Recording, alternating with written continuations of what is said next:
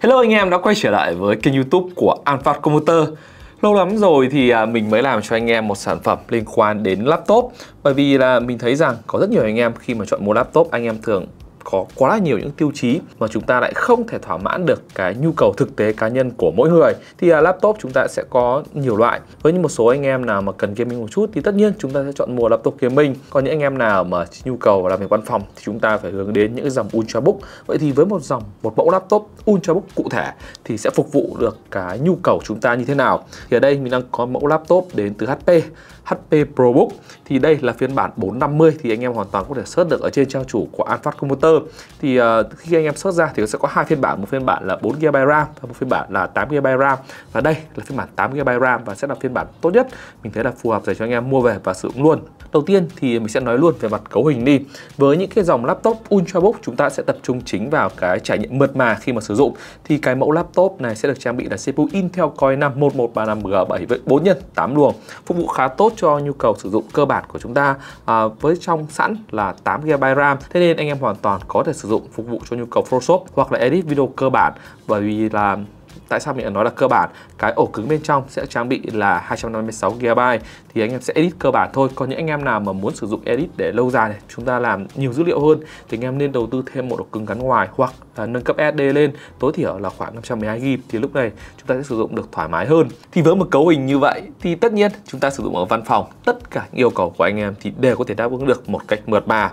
Cộng với đó là chúng ta sẽ cần thêm những cái trải nghiệm sử dụng khi mà chúng ta để laptop lên văn phòng. Thì ở đây trải nghiệm sử dụng khi mà anh em nhìn vào đó chính là màn hình. Thì sản phẩm này sẽ là màn hình kích thước 15,6 inch độ phân giải Full HD tấm nền chắc chắn phải là IPS và có chống chói luôn. Nếu như anh em nào mà khó hình dung hơn một chút thì cái tấm nền chống chói nó quan trọng như nào? Thì ở trước mặt mình ở đây là một cái đèn trên đầu mình một cái và bên trái nói chung là có rất nhiều đèn hướng vào. Và mình nhìn trực tiếp vào màn hình vẫn có thể đảm bảo được cái yếu tố sử dụng là sắc nét cực kỳ sắc nét để chúng ta có thể trải nghiệm những cái nội dung có ở trên màn hình và chúng ta không lo sợ rằng nếu mà chúng ta đang sử dụng trong môi trường phức tạp thì có sử dụng được hay là không. Tiếp theo nữa, đó chính là về phần viền của màn hình. Thì viền bốn cạnh đều rất mỏng. Thì tất nhiên là chúng ta sẽ không có cạnh gọi là siêu mỏng giống dòng laptop cao cấp. Thế nhưng khi mà nhìn vào tổng thể so với những mẫu laptop được sản xuất vào năm 2021 và 2022 thì viền màn hình như này là rất tốt. Bởi vì cạnh trên, cạnh dưới đã được làm mỏng lại đều nhau hơn. Thay vì là có ba cạnh mỏng thì bây giờ chúng ta đã có bốn cạnh mỏng. Ở trên cùng thì chúng ta ta vẫn có webcam để có thể đàm thoại hai mic và có thêm một cái phần để có thể che cam để có thể đảm bảo được cái tính bảo mật khi mà anh em có thể chuyện trò hoặc là làm video bởi vì dòng laptop Windows đâu mà anh em khi mà sử dụng cài khá là nhiều phần mềm và khi chúng ta che được camera lại thì cũng sẽ đảm bảo được yếu tố bảo mật khi mà sử dụng tốt hơn. Sau khu vực màn hình rồi thì chúng ta sẽ nhìn xuống khu vực bên dưới nơi mà chúng ta có thể trải nghiệm khá nhiều. Thì ở ngay bên trên sẽ là khu vực loa và giải loa rất dài. Thì với cái giải loa ở bên trên thì khi anh em nghe nhạc thì âm nhạc sẽ được hất thẳng lên trên như thay vì đánh xuống bàn và dội ngược lại. Vì thế, khi mà chúng ta trải nghiệm thực tế của sản phẩm thì nghe loa khá to. Tuy nhiên thì mình khuyến cáo anh em chỉ nên để khoảng 80% thôi bởi vì nếu mà để lên 90 hoặc 100% thì sẽ bị hơi rẻ nhẹ một chút cái điều này thì là do cái vấn đề liên quan đến loa đặt ở bên trên rồi. Và mẫu laptop này có chi phí không phải là quá cao có thể nói là laptop dành cho sinh viên. Thế nên chúng ta cũng cần phải tối ưu khi mà sử dụng. À, anh em cũng đừng quá lo lắng việc là chúng ta để 80% thì có nghe rõ hay là không. Thì nếu như anh em nào mà sử dụng ở nhà ấy, để 80% nghe cũng đã rất to rồi. Thậm chí anh em còn chẳng để đến cái mức đấy. Còn khi mà sử dụng văn phòng thì chúng ta nên cắm tai nghe nhá. Ở văn phòng thì không nên nghe loa cẩn thận là có người mắng đấy.